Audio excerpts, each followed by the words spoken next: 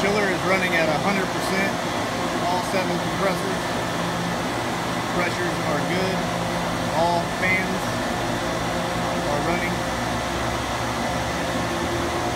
Chiller is certified, ready to install.